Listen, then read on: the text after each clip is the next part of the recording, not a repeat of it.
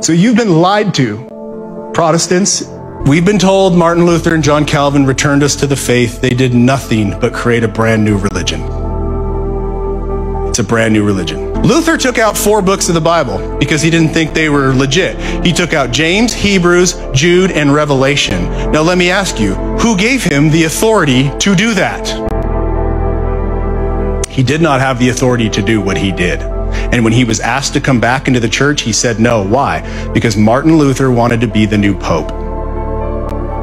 And he succeeded in inventing an entirely new religion. So, howdy, all. This is Kyle Whittington. Um, we are here with a special guest today. I've got Scott Klaudt uh, with me from uh, Zootown Church in Montana. Uh, some of you guys might recognize him from like all these clips of his that have been going viral. Uh, just kind of talking about uh, the Reformation, uh, things in Catholicism and Orthodoxy. And uh, so, anyway, I thought that I would just uh, bring him bring him onto the show, uh, talk to him, get to know him a little bit, and uh, see what's what's going on. So, Scott, thank you so much for joining. Yeah, you were one of the first to reach out, so I figured I would give you the first one. So oh. I got a few more lined up after this, but you're you're the first one. Okay, well, awesome. Well, hey, uh, you know, I'll I'll definitely hope hopefully, you know, all this that's been happening just comes for the greater glory of God. So, um, you mm. know, I, I, I hope you get some bigger and bigger and better shows than this one.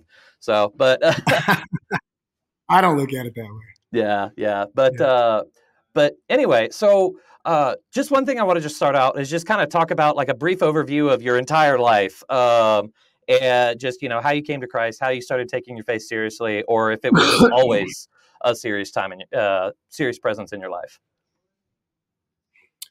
Yes, I, I was born in a small town in Montana called Havre, Montana. Uh, it's on the High Line, kind of by Canada. And uh, my mom, my mom was a devout Protestant, uh, mm-hmm. but my dad wasn't. My dad grew up in a super fundamentalist um, Protestant household which kind of pushed him away from the faith. But he wasn't like against God or nothing, but it just wasn't a part of his life. So uh, my mom would drag us to church, and I always believed um, in God and Jesus, but it wasn't like a main focus of my life, you know. Um, mm-hmm. And then when I, you know, I had some pretty serious trauma when I was about 12 years old. Uh, a couple things happen that I probably can't mention here, but I did have a I had a kidney removed. I was born with three kidneys, and I didn't know that. Um, oh. So I had a. They went in there and they found that I had two two diseased kidneys.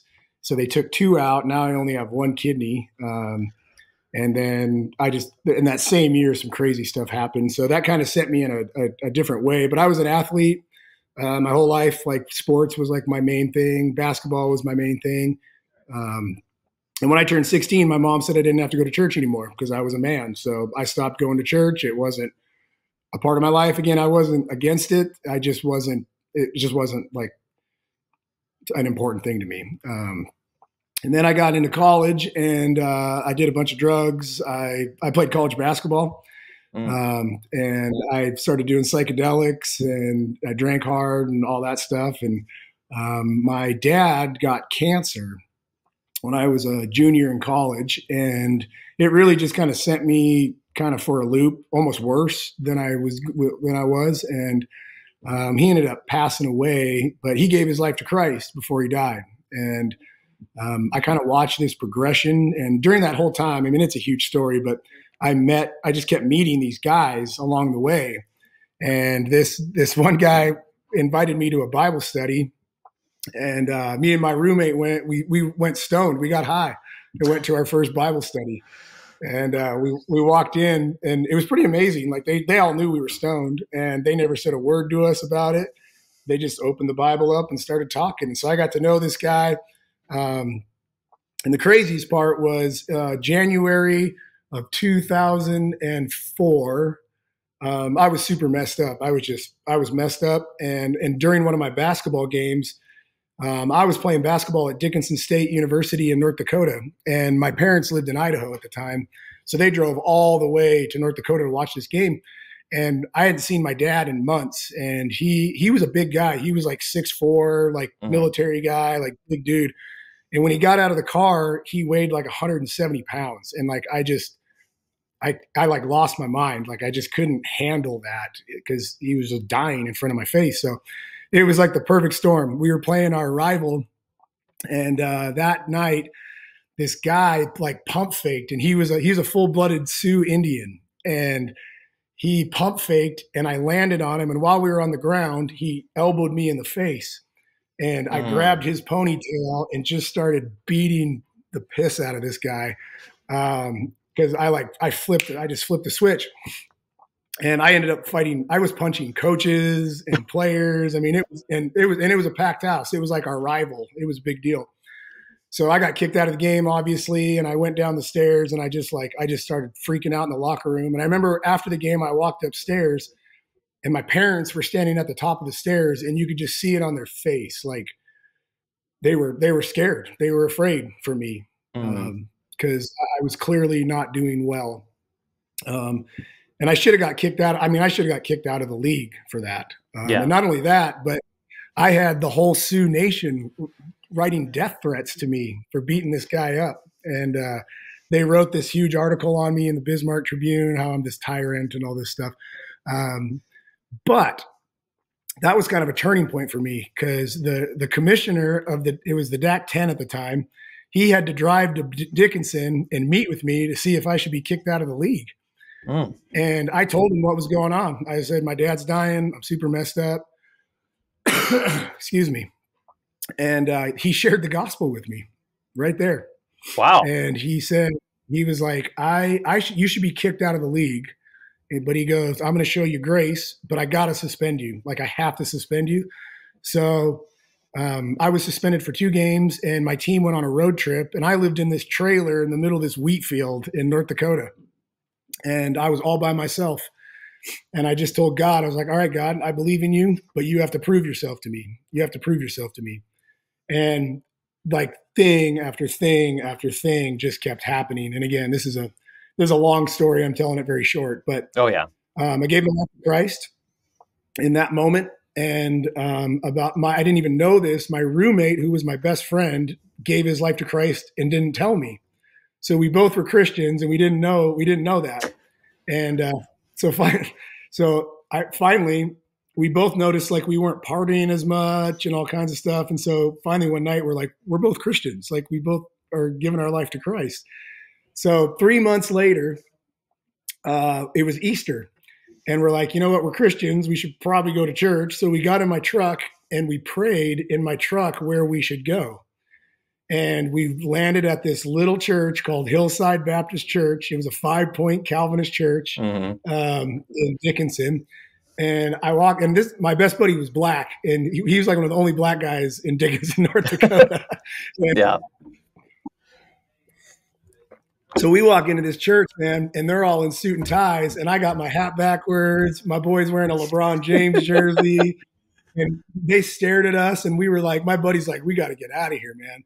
But this pastor like left his conversation and walked up to me and said, "I've been waiting for you." And I was like, so my buddy's looking at me like, we got to get the hell out of here, man. Like we're gonna die, you know. And so he goes, "Can I give you a call after the service?" And I was like, "Sure." So he called me and he said, Scott, I was at that game that you got in that fight. And he said, I got up and I was going to come to the locker room and share Christ with you. Um, but the Holy Spirit said, Don't go to him. I'm bringing him to you. And three months later, I walked into this guy's church. So, wow. Uh, yeah, so he he was a, he was my mentor for probably ten years. He ended up dying of cancer mm-hmm. uh, about six years ago, but he was a five point Calvinist. Um, so that's how I was trained. I was trained in that. Mm-hmm. But he was a wonderful man, just a wonderful man. And um, he would come over to our apartment, and we had like bongs and beer and like porn and all that stuff everywhere. And he would like just flip over. He'd flip the nudie magazines over and put his Bible down and just teach us the Bible and wow. he never said a word about anything else. Um, so that was the start of it. So that that was actually the start of it. And so um, I was going to be a fireman. I went to I went and got all my um, after my dad died. I moved home. I got my degree, but then I was going to be a fireman. And uh, so I went through all the classes. I had a job lined up, and I got engaged to my now wife. And but so i have always been kind of a crazy guy. So before uh, before I got married, I was like, okay, I got to go do something crazy before I get married. So I moved to Guinea, Africa, for a month. Um, and you know, I don't know if you guys know anything about Guinea, but that's where Ebola started. And, right. Um, it's not like lions and tigers and bears; it's poverty. And it was right during the blood diamond thing in Sierra Leone. Mm. And Sierra Leone and, and Guinea are, are right next to each other. So I we were there for a month and I was digging wells and but it was like a war country. It was war torn and there was refugees coming in. Um, and so on our we had to drive eight hours to Conakry. I don't know if you ever seen the movie Blood Diamond. Uh, no, I, am kind of familiar with the story. Yeah. Yeah. So he flew into Conakry. That's where I flew into. And on the way back, we got held hostage by the military. And it was just a really big deal. But while I was there, I watched this um, this these doctors. I went on a medical mission, and uh, like they were doing bush medicine though. I mean, I saw people get their wisdom teeth taken out with no anesthetic. I mean, it, these people were tough. They were yeah. tough. Um, but I, I watched this Muslim lady go in for surgery because she couldn't have any more kids, and she was like twenty. I mean, she had to be in her early twenties, and she had like six kids already, and so I'm standing there with a mask and I'm just like handing tools. And when they cut her open, she had a wall of chlamydia like this thick. And that's why she couldn't have kids anymore. Mm. So they sewed her up. And I watched this guy trans, they speak like a tribal French. And so he translated mm. to her husband that she can't have any more kids. And they were all Muslim. And so I then watched after right after surgery, I watched him basically rebuke her and uh, the missionary told me she's now going to be basically the house slave and he's going to go take another wife. And my mind like could not comprehend that. I just i, I just that just didn't make sense yeah. to me. Because i'm kind of a justice guy. I hate injustice. I just hate right. injustice. And so i wasn't even supposed to leave the camp but i ran out into the woods into the jungle. I mean there was cobras all kinds of stuff. And i met the lord and i heard the lord's voice clearly and um, he said he said to me like i want you to do what they're doing here in america. And i hmm. didn't know what that meant. I didn't know what that meant. So anyways it's a huge long story but i come back i tell my wife i'm supposed to be a pastor and all that. I tell my mentor and and he affirmed it and he just goes yeah i've, I've known this for a while. Um, and so what god meant by that was we i always find it interesting in america we always say like if you build it they will come or like right. we do everything we can to not to stand out from the world. And i don't mean purity i mean like we're kind of we kind of judge the world a lot right? But whenever we go overseas i had to wear pants. It was like 110 degrees. I had to wear pants in africa because they it, it would offended the muslims. So we bend over backwards when we go overseas but in america we're like no we don't want to be a part of culture you know? Right. uh, and so that was I we I got my degree. I got a master's degree from Crown College, and I got ordained in the Alliance, the Christian Missionary Alliance.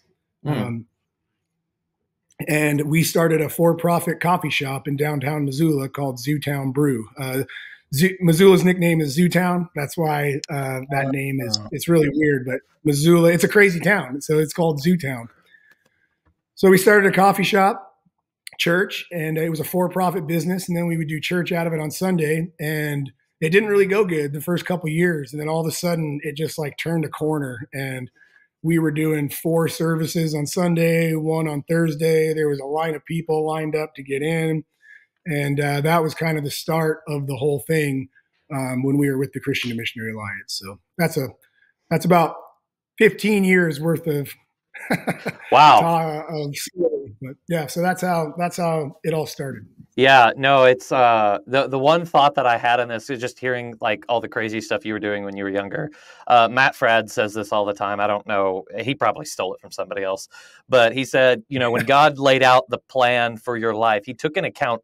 He, he you know, He accounted for your stupidity, and it mm-hmm. sounds like for you, it's just like, yeah, no, this is it's not a, you know, picking out anybody on that basketball roster who would end up in your shoes, you'd probably be about the last guy anybody would have expected. Absolutely.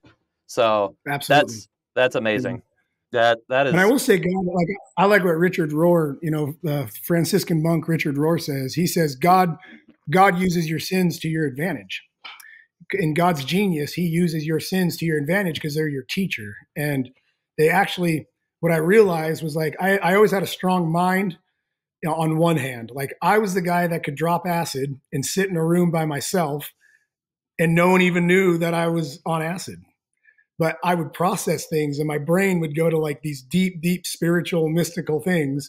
And although they were on drugs, after I got off drugs, I can still process deep, you know, mystical, spiritual things. Mm-hmm. And that was a huge advantage to me which is why I believe God knew all along I would be leaning towards Catholicism and Eastern Orthodoxy because you guys get the mysticism part of all this, you know? So yeah, I actually even see those early years in that, like God was using that to train my mind and my soul to think bigger, like to think, to think from a 30,000 foot view. Um, cause that's what you really need to have with the Christian faith, especially in Catholicism, when you guys are across cultures, languages, right. you know, like you got to think bigger when you when you think of the gospel. So yeah, God actually used that season of my life to help me think bigger.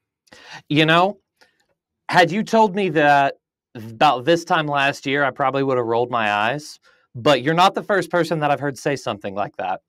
Um, there's a there's a guy who lives here locally. He was actually on Pints with Aquinas. So if you look up the Stephen Johnson interview, he he's got a wild story too but he talks about like how he was doing psychedelics and whatnot, and it actually like part of that was a uh, uh, he said like there's a deep truth in there uh, or what it, yes. I, I, can't remember what it was, but he was just like, but it resonates in Catholicism. So, mm-hmm. um, mm-hmm. and he, uh, I'm not saying it's right. I'm not saying that it's right yeah. to do that, but what oh, I am yeah. saying is, um, it, I believe psychedelics are a cheap way to God. Like I do think it does open up the spiritual world, but it's a cheap. There's no discipline in it. There's no, there's no killing your passions, right? Like it's right. just like boom. But he's right, man, and I don't care what anyone says. I I took mushrooms one day, one night, and I was laying on a baseball diamond, and it was a beautiful night. And I, I mean, anyone who's ever taken mushrooms, it's just a, it's like your brain's going wow, wow, wow, wow. And you don't just snap out of that. You don't snap out of that. And all of a sudden, I snapped out of it and I was completely sober. And I felt the presence of God come over me. And He wasn't mad at me, but I felt really, really small. And He, all I heard Him say was, There's more than this. There's more than this. Mm-hmm. And then I was totally sober for five minutes, feeling the presence of God. And then I snapped out of it and I was I was stoned again. But I remembered that moment. And so I agree with them. Like it's not, it's a cheap way to God, but right. God uses anything. God will use absolutely anything to draw you to himself. So yeah. Yeah. He no, uses our sins to our advantage. Yeah, and you know, you, you talk about. I'm not telling everyone to go take psychedelics either. Yeah, no, this is not a this is not a uh, go do drugs. No, definitely not. And probably at that, this this video is already demonetized, but whatever. Um, but whatever. Um, but yeah, no, it, it, and, and then some people might take away from that as like, oh, look, if you do drugs, you'll end up like this or whatever. You'll so become a pastor. Yeah, exactly. so no, that's yeah. not what I'm saying. Yeah, no. What I'm no. saying is, you know, like I've, I just view Christ differently. Like I think Christ mm-hmm. goes with us everywhere. I think Christ is in us. So like, you know, people people who go to strip clubs, they think Christ sits in the car.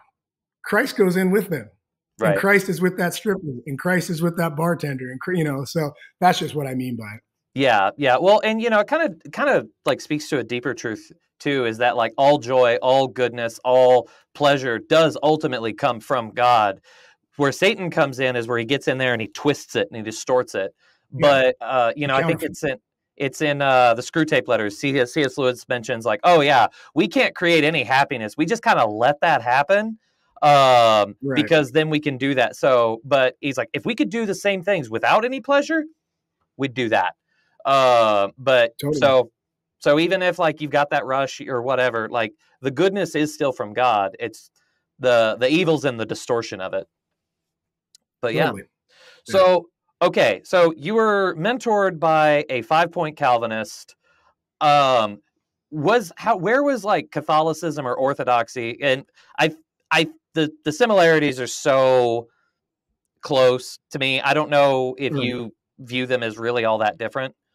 Um, I do, and I actually have I have the benefit of not because uh, I mean, one thing, uh, you know, one thing I learned when my video went viral, which we didn't even make that video, which is kind of funny. Like we weren't even the ones who made that video. Like I, I did that sermon series for our church, right? Um, because I live in a town where the Protestant community is the most toxic Christian community I've ever seen. Like mm-hmm. it's, it's just disgusting. I, I, I, it's, it's hard to describe until you're a part of it. But I, have talked to pastors who have moved from out of Missoula to Missoula, and they're all like, "What the hell's going on in Missoula, Montana, in the Protestant church? Like, mm. it's divisive, it's slanderous, it's fake."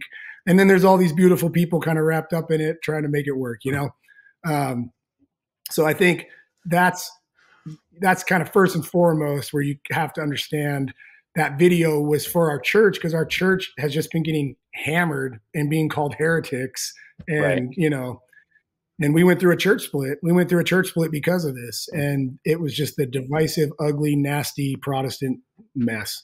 Um, yeah. so i just want to make that clear. That video was not i wasn't promoting myself. I wasn't i didn't even know that video went out. I woke up one morning and my phone had absolutely exploded oh geez. that's how that happened yeah. next thing you know random so, dudes in ohio are sending you emails and you know yeah. Yeah. Oh, dude. So, that- but yeah, as a five point Calvinist, like I, I and I grew up with a grandpa who was a strong Christian, but he thought Catholics were, you know, heretics and the Catholic Church, you know, sure. Rome, all that stuff. So I was I was trained that you guys I never I mean, and one of my best friends growing up was Catholic. He's a wonderful dude. I still love him to death. But yeah, I was just kind of trained like Catholics are doing their thing, you know, but we're Protestants, you know. Right. Right. So okay, yeah, yeah, actually like and I know a lot of Orthodox would probably squirm at this, but personally, like all of their stuff is compatible with our theologies too. So it's just like yeah. the door's open. So like I don't really see that much of a difference. So okay, but and I don't hear any Orthodox ever really trashing you guys either. Like in my circle, they don't they don't do that. God bless you because that means you spend probably very little time online. oh no, I've seen that. Yeah, I've seen that. But I will say this, man. I'll be honest with you. One thing that this whole experience has, I, that has taught me is I've met a lot of assholes in Catholicism too, and Correct. I've met a lot of assholes in Orthodoxy. So, yep, I that's the one. I, am I it, it, cured me of looking for the perfect church, and that's yeah. not what this is about. You know? You know what what is that that's something like i would be i would be a saint i would be so holy if it wasn't for all these sinners around me uh, so right. yeah so i'm yeah, one of them i'm one of these assholes so. yeah exactly so but uh but yeah, no. Whenever you're describing the scene in Missoula, it's just like, oh, it sounds like it's the internet, but in real life. Yeah, so, pretty much. Oh, geez, that sounds okay. Um, okay, so when did you? So if if if y'all haven't seen the video, I I recommend uh, checking it out. Uh, I listened to all three parts of the sermon series. Uh, it a lot of really good stuff in there. Some stuffs that you know a lot of you guys will go, well, I, I don't, you know, but like it was really cool to mm-hmm. hear, honestly. Um, and so when did what what prompted this? um, about seven years ago, we held a Easter service at the Adams Center, which is the biggest stadium in Montana, okay. and uh, we packed it out. Like it, it, it packed out, and um, we we baptized 178 people. Uh, they wrote a huge article in the Missoulian. I mean, you can still Google it and find it, the article. But um, and everyone was celebrating, and it was like this pump up day. And in the Protestant world, again, I don't. Your audience probably doesn't know some of this, but in the Protestant world, numbers, numbers, and flash and bang and and mm-hmm. and the show, like to them, that's what equals success that's success. Like not discipleship, not deep, you know, it, I mean, that's a whole other Protestant podcast. But right. So point being, we had arrived. We'd arrived according to Protestantism, you know, mm. and everybody came out of the woodworks. What's funny is when I started the coffee shop, everyone trashed me. And then when it worked, I became their poster boy in Protestantism, especially in the Christian and Missionary Alliance. And so they just used us. They use you, you know, as mm-hmm. like this model of success. But everyone was celebrating, and that next day, I was completely miserable. I was totally mm-hmm. miserable, and I kept I kept kind of blaming Satan and all kinds of things. But like, there was just something in my heart that just wasn't right. So I got on my porch, and it finally just hit me. I was like, like, is this it? Have, have I arrived? Is this it? Like, is this the pinnacle? Is Mhm. and is this what even church is for? Like, we just baptized 180 people, and I didn't know any of them. I Mm. didn't know any of them. And then I realized the way we were talking is it wasn't even about the people. It was just proving it was about us. It was about our egos. It was about our show. It was about because that's Protestantism, man. and so it was all about like, okay, now we can tangibly see that God is with us, right? And Mhm. it just wasn't working for me. And this there was things that I'd thought about for a while and I'd read in the scriptures that just didn't line up for me, but I just didn't try to think about it, you know. So I get on my porch and I said, "All right, Lord, like is this it? You know, like am I doing good? Am I am I is this and I I heard him just say there's more.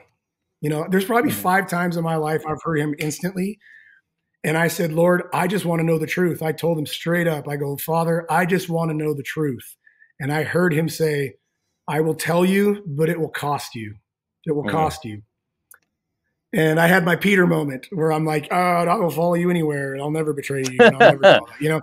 Um, and that was the beginning of it. And to be honest with you, these books just started coming in my way. But I also told Christ, I lay everything down. I lay my Americanism, my Montanaism, my patriotism, my everything. I lay it all before you because I want to know truth. And I the the book that actually started it all for me was The Divine Conspiracy by Dallas Willard. Um, even if you're a Catholic, you should read that book. It's he's he was a Baptist Calvinist, but he he wasn't. He was. it- It's hard to. He's just a Mm. beautiful man. But in that book, he goes through the Beatitudes and how it's the kingdom now. Like the kingdom is now, and we're supposed to be living the kingdom life now, and turning the other cheek now, and being meek now. And in Protestantism, again, I just speak for Protestants. I don't know what Catholics believe, but Mhm. Protestants almost have this view that all that the gospel is is to save you from God burning you.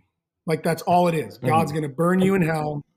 So say the prayer so he doesn't burn you. That's the entire point of the Protestant gospel. And it's and so then you're in this constant limbo and it's all about morality. Um, and it's just a really kind of weird game. And this book said, no, no, no. The kingdom's now, and God's Mhm. redeeming this planet.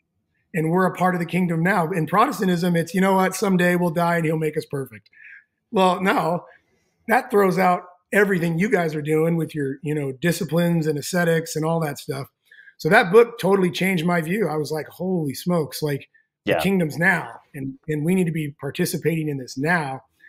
Um, and then it just kept going from there. And then then I started reading the early church fathers, and it was a wrap. Like I was like, okay, I'm not teaching. I'm not even teaching the atonement theory right. Like I'm not even teaching the right atonement theory.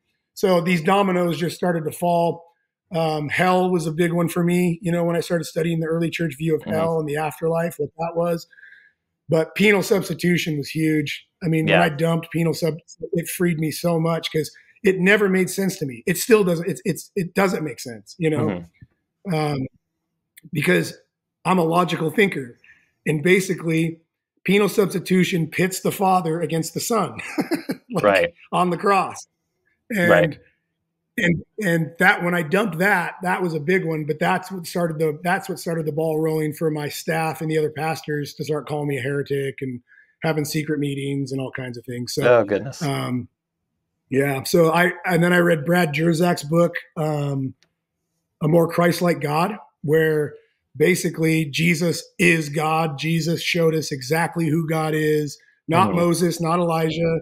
Those those guys did the best they could, right. but they weren't they weren't they weren't God. And Jesus. So basically, I, I shifted my whole thinking and reading the Bible, where I take Jesus to the Bible instead of the Bible to Jesus.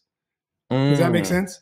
Yeah. No, it does. So like because if you don't do that, you're going to start lumping things that Moses said onto Jesus and Jesus said, "You've heard that it was said, but I say."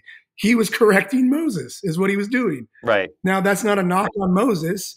It's just Jesus is the perfect word of God. So that that was the one when I started reading the Bible through the lens of Christ that you know that made the Bible made more sense to me too because there were things in the Bible that just I'd never made sense. It just it why would God do that or why would God say Mm-hmm. that or you know and Jesus opened that whole door up for me and so then I started going to mass um, I just was like hey I'll check this Catholic thing out and I started going to mass on Tuesdays and and then I started going a couple times a week and I just realized I had misjudged the Catholics tremendously and I didn't know what I was talking about and I was an ignorant fool on Hmm. what Catholicism was so um, I started going for years, just going to mass and listening to it and watching it, but then experiencing it, like just it, it's an you're it's such a different experience than Protestantism, like Mhm. you know the liturgy and all those things. So um, I just read probably a hundred books on all these different stuff, and Mhm. I was convinced, but I didn't know what to do because I'm a Protestant pastor.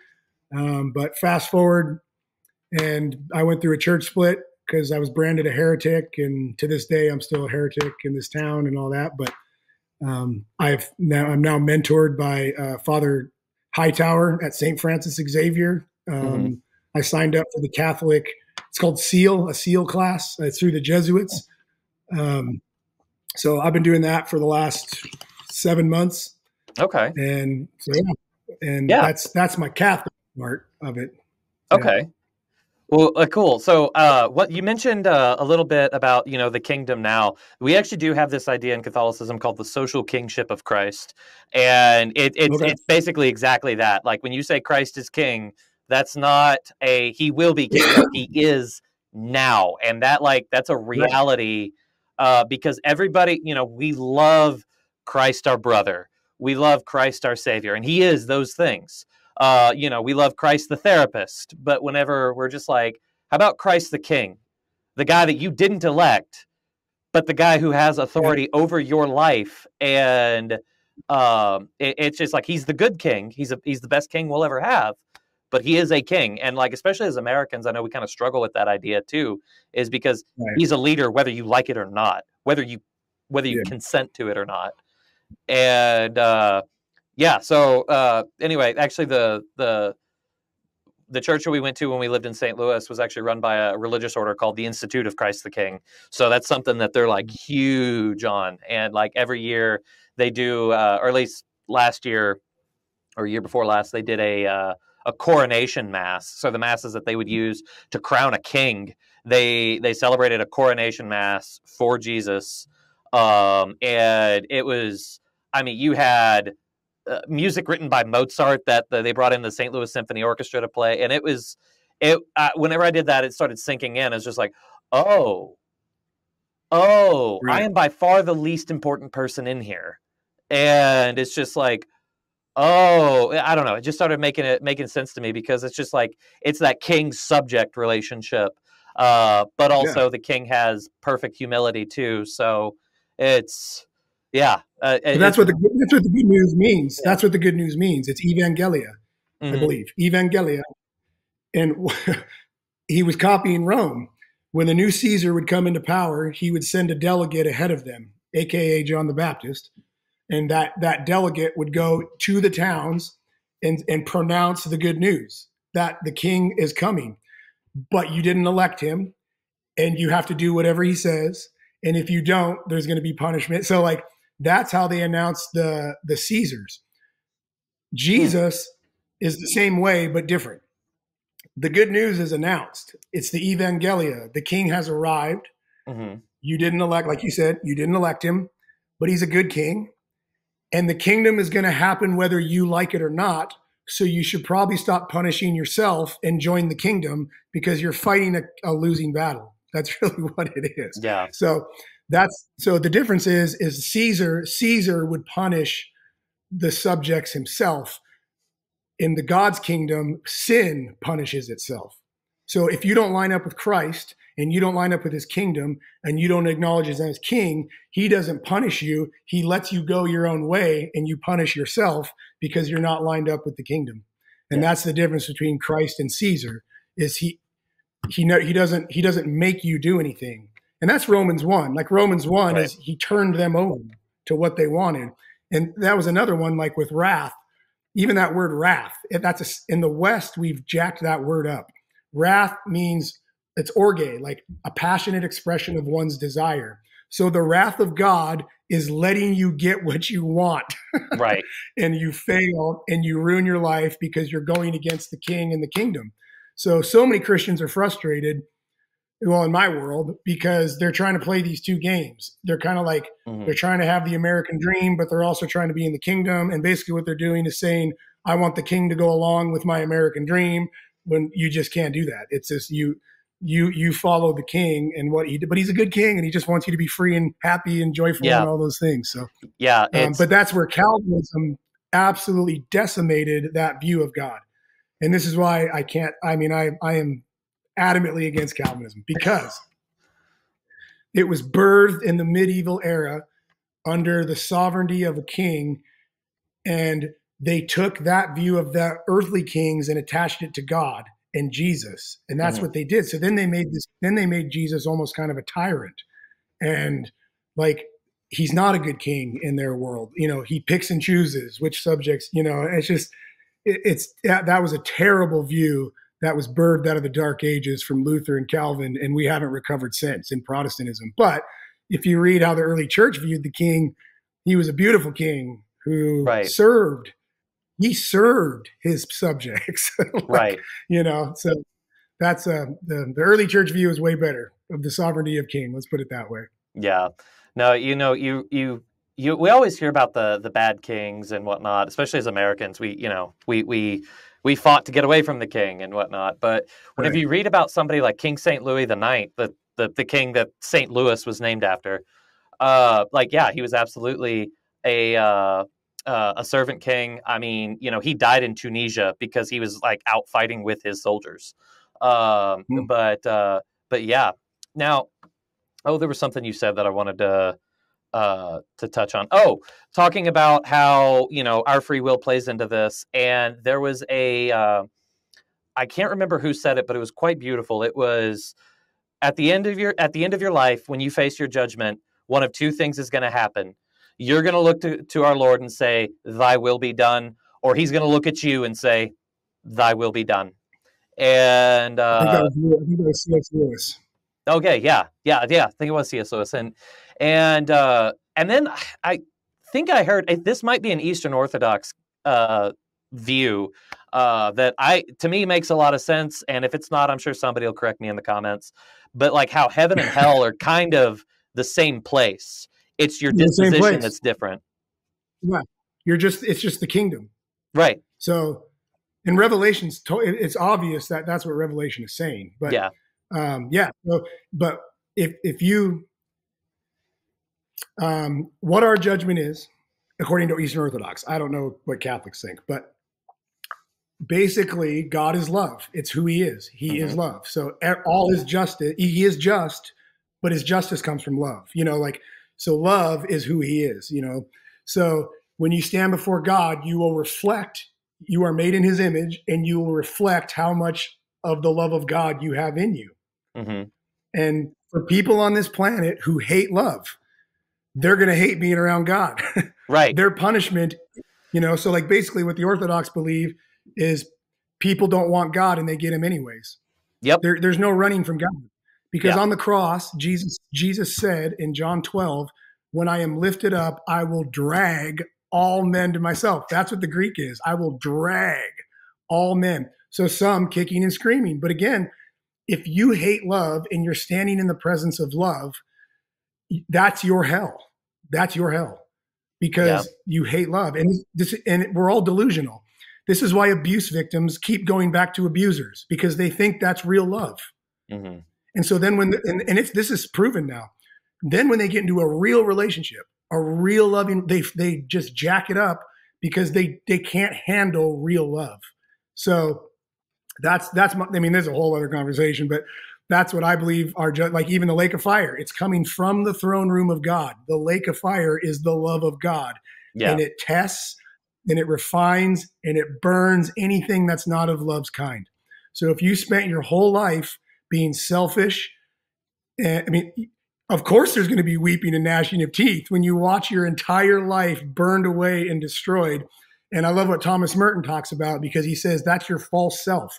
Your false self is is what we're trying to hold on to, and love is going to burn that away. And I think people can hold on to that false self for a very, very long time, possibly forever. I don't know. But yeah. either way, the judgment is just a reflection of how much love of God you have in you. That's your judgment, you know. Mm. So that's that's the orthodox view. And it's so obvious in Revelation. It says her gates are never shut. They're never right. shut. And the spirit and the bride say, Come. Now you still have free you still have a choice whether you want to enter the kingdom or not.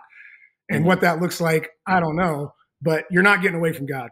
you're just not getting away from God. So I'd rather just submit to him now. Yeah, that's actually so. Um, are you are you familiar with the Eastern Catholic tradition? Have you heard of this before? A little bit. Okay, a little bit, yeah. So it's actually kind of fun. Uh, one of my neighbors, he lives right behind me. He's a Catholic priest. He's also married and has seven kids. Um, okay. And he's of the Melkite uh, tradition, so it's more like what happened in uh, the uh, like Saudi Arabia. You know, we're talking about uh, mm-hmm. different expressions all over the world. Well, so this is like the Arabic tradition. Uh, so whenever you're talking about some a lot of these Orthodox ideas, I mean, they're still present in Catholicism. In fact, uh, there's a there's a wonderful guy who loves to hang out in the cigar lounge here in Steubenville. I won't name him. Uh, he he'd been kind of struggling between Catholicism and Orthodoxy, but he's wearing the Orthodox cross, and he runs into Father Peter, and he goes, "Oh, are you are you Catholic or Orthodox?" And he goes, "Well, I'm sort of both." And Father Peter goes, "Huh, me too." and uh, yeah. yeah, but like, there's a lot of richness in the Eastern tradition that like it's technically present in the West, but it's not emphasized or studied at all. And I think uh, mm-hmm. I think we're starting to see a little bit of that shift. Uh, like, I mean, mm-hmm. we're at mm-hmm. the very front end of it, but um, just all, all, this wisdom in the East and the comfort with mystery too is something that yes. uh, yeah. you know it's like what are the details of heaven you know you take the thomistic approach and you know aquinas can brilliantly just list everything about heaven and all everything that we know or can suppose and the orthodox are basically just like be holy so yeah, yeah. But even even aquinas even aquinas said you know he had a vision. He's basically like, whatever I just saw, whatever I've written before is rubbish. I mean, he and he, he just quit. Whatever quit he saw. yeah. So like, I, I don't know. That's where I, I love him dearly, you know. But yeah. I, I take some of his stuff with a grain of salt now because even he said like, you know, I I've seen something that has blown the doors off a lot of things, and and that's what I was going to say earlier. Is I am in a unique position because I, I do consider myself Catholic and Orthodox at the same time. Um, and I know that might have, you know, offend some people, but I just see so much beauty in both of them. And I think if they just would come back together, it would be a game changer for the world. Like for the world, it would be mm-hmm. a game changer. Um, I don't see that. That's my prayer. But I take from both of those very, and I, I just love, I love the Eastern tradition of both Catholic and oh, yeah. Orthodox. Um, and now that I've studied it too, I mean, they're just, I, I do think some of the Latin lost some of the Greek meaning. I mean, yes. it, it, just did. Like there's, you know, like the, the word eternal, the word eternal is not a time word. It's a substance word. It's, it, it mm-hmm. it's, it's aionios. It comes from olam. It means age of time, you know? So like, yep. it, that's the mystery. That's the mystery. So, but when the Latin, the Latin took that away. And so there's some things that I just wish like the, if they could all come together, it could just yeah. paint this beautiful tapestry. And this might this might be Protestant, but I believe they should join so they can spot Antichrist. Mm. Mm, yeah. I, if, if, I think the Orthodox and Catholics should join together so they can spot Antichrist. Yeah. Well, I mean, there's that. That's an effort that's ongoing. We're we're a lot closer to reuniting with the Greeks than we are, say, like the Russians, and that's most of them. Yeah, and the uh, Serbs. Uh, yeah. yeah. but uh, I mean, one of my best friends that lives around here, uh, he's he's Serbian Orthodox. He's actually been on Pints with Aquinas a couple times. His name's Derek Cummins. I've had him on my channel before. He's I've learned a lot from that guy, and uh, yeah. love him dearly. And uh, you know, just talking with him, like I don't know, if you ever find yourself out out in Steubenville, which you know, who knows that that's uh that's not outside the realm of possibilities, but uh, you never know. Yeah. So, like, actually, so are yeah, you familiar with? I, I, actually, I hang out with some Serbian Orthodox too, and I, I, I thoroughly enjoy them. I Oh, really, yeah. really enjoy them. And Well, I just And- think that's where there's so much richness in all of it, and even in the Nicene Creed. mhm. You know, when it says Catholic Church, it's a small C. It's not a Mhm. big C. It's a small C, which means there's others out there. You know, like right. and that I think that's where I am. I'm blessed to be able to be in this spot, even though I do feel at some point I'm probably going to have to choose. um, Okay. I do. I just love. I just wish y'all could just come together and quit fighting online and just find the beauty of both of it. You know, because Yeah. I've got you guys both. You guys both believe in the Eucharist, the presence, all that stuff. Um, you both claim the same saints, but Well, yeah. um, it, And- just I. But I'm in a cool spot to be able to pick from both of those. Yeah, I I- I might get in some hot water for this, but I kind of don't care. I don't like doing the Catholic Orthodox debates. Uh, one because they're so close, and I'm not that smart, and it's just like, is this difference meaningful? I don't know. I can't tell. Whatever. So I I, I don't Right. like doing that. But I also know that we also recognize Orthodox saints as saints. So, like, Right. let's say if you said, "Well, hey, I'm gonna I'm gonna go join the Serbs," praise be to God. Uh, you know, I'm excited about that too because it's just like there's still a possibility that you're going to be, you know, Saint Scott of Missoula one day, and uh, you know, I mean, you know, the chances are low, but never zero. You know, but um, You know, I- or you know, you'd probably take the name of Seraphim or something like that, and that's how they'd probably do it. But yeah, actually, he's my favorite. That he's my favorite saint is Saint Seraphim of Russia. I love that guy. oh yeah, yeah, I That dude, like, he got the crap kicked out of him. He used to sit with bears like that. I love those guys. oh Yeah. yeah, yeah. I don't, I don't know if you're, are, are you familiar with Pints with Aquinas at all? Have you heard of any of that? What what? Pints with Aquinas. Have you have you heard of this show? Mm-mm. Okay, cool. So I mean nothing to you because I'm actually like in the same building where that's filmed. It's Matt Fradd. He runs Oh, a okay. pretty awesome channel. Uh, highly recommend it. But uh, he's an Eastern Catholic, and um, but and he's also like a big Russophile. So he's all everything's Russian, and uh, it, it's yeah. I don't know the Russian saints. Whenever you hear from them, it's just like oh these guys are intense. It's pretty awesome. Yeah, But okay, yeah. So- after it. yeah. So you did mention you do you think you're going to have to choose. So if you if if you don't mind sharing on camera, what's preventing that from happening right now? Feel free to decline the question too. I am a Protestant pastor in charge of a large church that has to. I am. God has called me to lead these people. You know, so Mhm.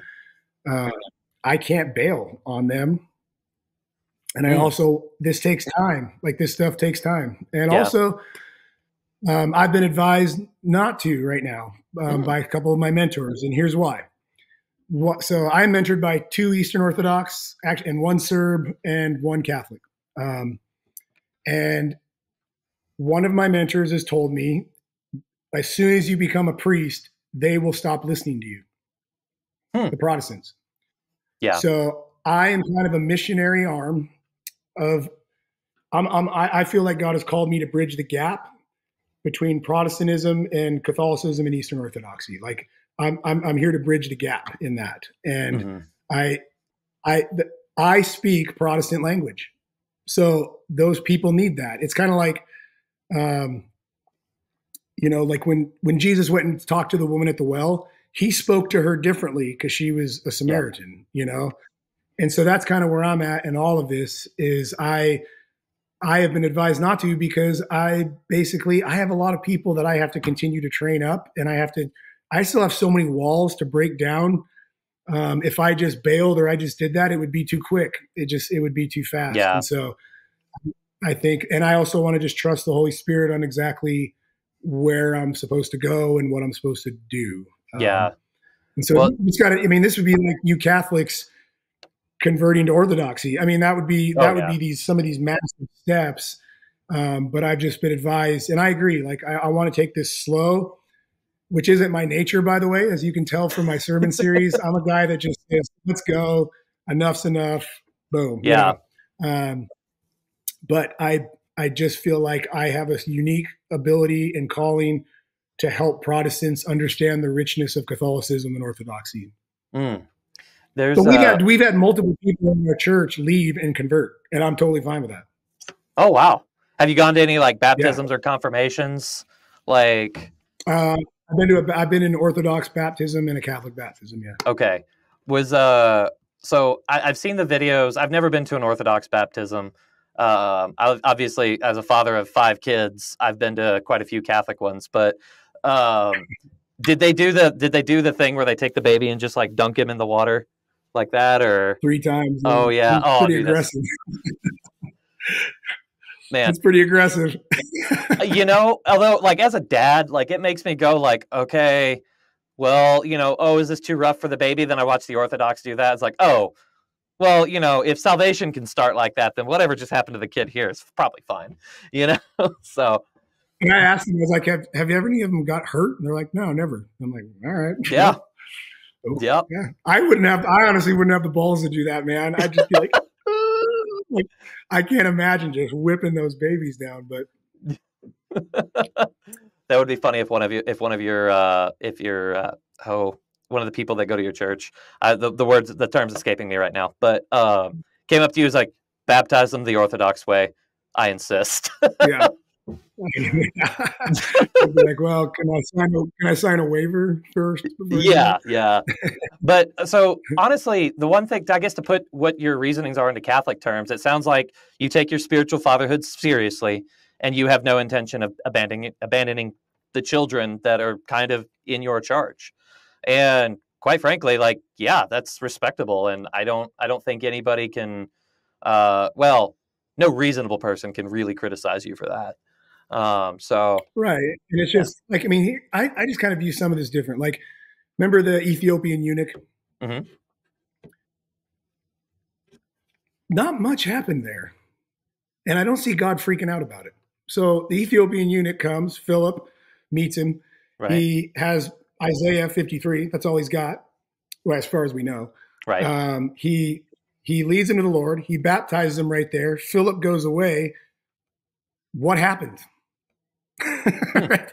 So, like, I sometimes I think we we don't trust the Holy Spirit in other people, and that Ethiopian eunuch went back, and to this day, Ethiopia is one of the strongest Christian nations in the world. right, And like, what training did that guy get? What you know? What priesthood did he get? You know? So, and I know there's a story behind all that hmm but there is a process to all that too that I don't think God's freaking out about. And so I don't feel like God's freaking out about my process.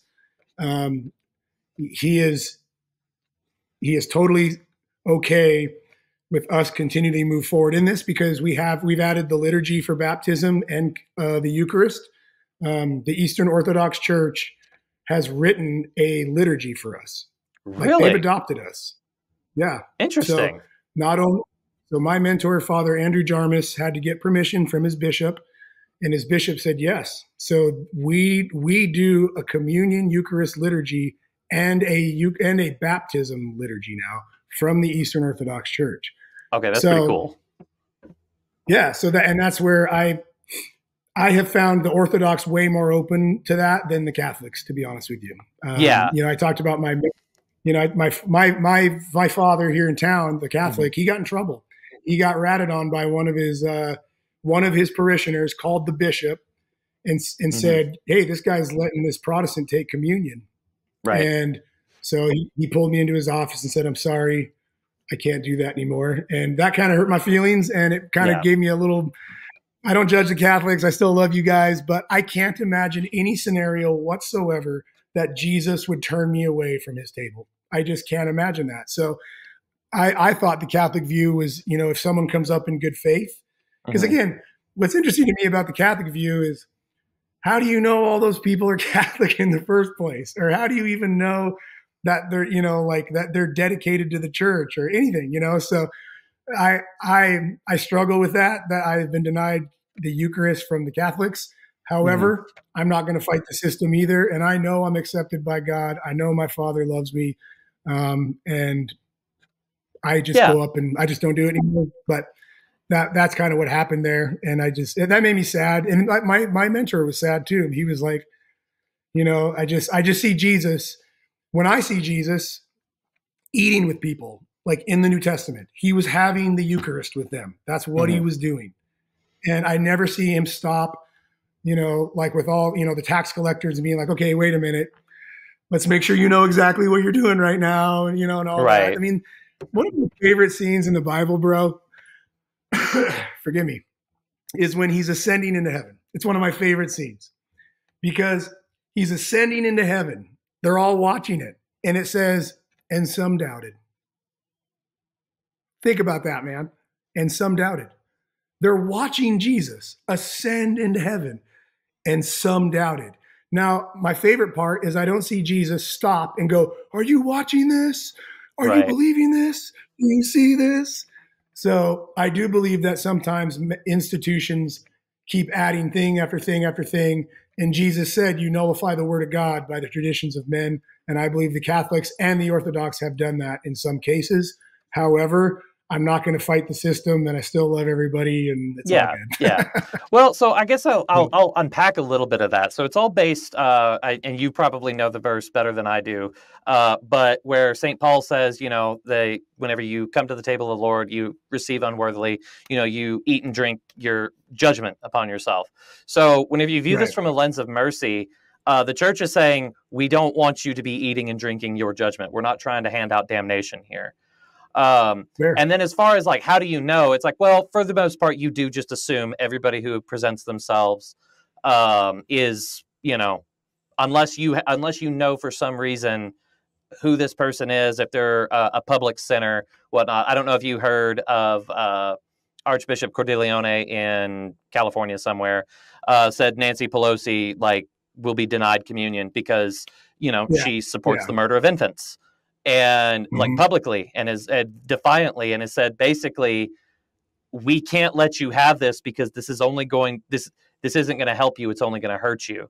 Uh, to the point where you know st paul even says that some of these people died uh, because they had been doing this unworthily. So and a lot of that does come from the idea of the covenant and the uh, uh you know you need to be in the covenant if you're going to renew the covenant. And how we renew the covenant of our initiation, so baptism and confirmation, is through the Eucharist. Just like in the same way that we renew the cover, uh, covenant with our wives or spouses for the women watching, uh, is through the marital act, you know, the, the conjugal love. So, in the same way that you won't allow anybody else who's not in the marriage covenant to partake of the body, you know, we don't we don't let people who are not part of the covenant uh, within the church uh, partake of the body either. Uh, so that's why that's why that's there uh, because it's also a, a, a symbol of unity. Uh, you know, the Orthodox and the Catholics we have the same Eucharist. So despite the fact that we've got a bunch of knuckleheads who are trying to beat each other down in the streets or you know in the theological streets, whatever. Uh, you know, there's still a unity there, even though that there's a human sinfulness is currently impeding that. Now, that's that's like the high level over, overview of it. Um, and there's some people who can go way deeper than I can because I'm just I'm just a lay apologist who's not even that bright. But that's that's sort of the reasoning. I, I don't know if any of that's new or any of that helps, or if you're just over there like, yeah, I don't, I don't I'm not on board with that. So well, that context of that verse with Paul is they were getting drunk. Those people were getting drunk. Oh, they were absolutely, yeah, they, they, were absolutely abusing it. Yes. You know, when he says unworthy manner, I think he was talking about their spirit and their countenance towards the table, not the church per se. Um, and I actually disagree with that bishop who won't, who will deny Nancy Pelosi communion. And here's why: I believe in the Eucharist, and mm. when hmm. you deny them what if that's the moment for her? What if she's in some liturgy and she takes the Eucharist and that's the moment where she's convicted of her evil and wickedness? So I actually, so yeah, I disagree with you. I believe you sure. are hindering people from the grace of Jesus. And I believe you are hindering people from a moment that Christ can work in their life. And so I don't care how big of a sinner Joe Biden is or Nancy Pelosi. I totally agree with you guys that that is evil and I am pro life for life. But man, have I done some really terrible things and the Eucharist healed me. And so I'm just kind of like, oh. When you deny someone the table, you are denying a medicine. And I disagree with that. And so I, that's, that's my view. Yeah, fair enough. So Okay, so what are some? Uh, okay, when in our email exchange, uh, I, I said like, "Hey, can I send you some books?" And then you emailed me said like, "Hey, I got the books you sent," and I was just sitting there thinking, "I didn't send you any books." So have people just yeah, been mailing you books? I got two books. Oh yeah, I've, I've, I mean, I've gotten, I'm, dude, I've gotten thousands of emails and DMs from Catholics and Orthodox. Um, some good, some bad. Um, Uh, well, but people have sent me beautiful rosaries and um and I, I I really do appreciate them. Like I Yeah. I so right now I'm reading uh Jesus and the Jewish roots of the Eucharist. Oh, yeah. I think it's called. But Yep. Scott Hahn, I've actually talked to Scott Hahn too uh, mhm. um, after this whole thing, and because I I am ignorant to some of that stuff, and it's a wonderful book. I'm almost done with it, Mhm. and I, I'm doing that. I'm reading these books to educate myself, but also be able to educate my congregation and Mhm. why we're doing this. You know, so that was an awesome book. You know, Jesus and the Jewish roots of the Eucharist. Like oh man, that made so much sense to me. And I will say, in your defense as Catholics, you and you in order to partake in the lamb and the um, um, the Passover, Mhm. you had to convert to Judaism and be circumcised and go through that process. Had to be part of the covenant. Yep. Yep. So I do understand that. But however, I still disagree with you because I believe that when the veil was torn and he, you know, he was on the mercy seat, the Ark of the Covenant, that opened it up for everyone. So, Hmm. but that's just me.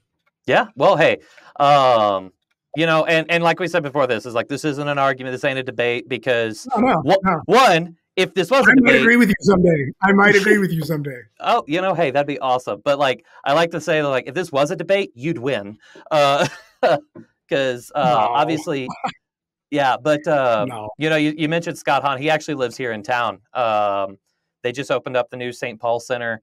Uh, they got the new building and whatnot. So I've been talking with them a He's little bit. awesome. Yeah, yeah. So, but I love uh, him and Trent Horn and like all those guys because I, yeah, I actually appreciate a good debate.